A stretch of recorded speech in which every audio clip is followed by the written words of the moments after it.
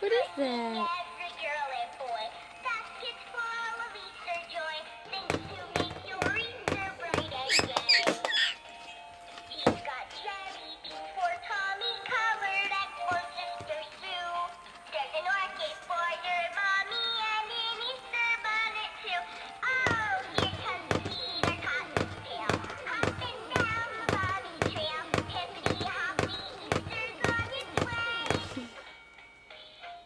you think of that bunny, sweetie?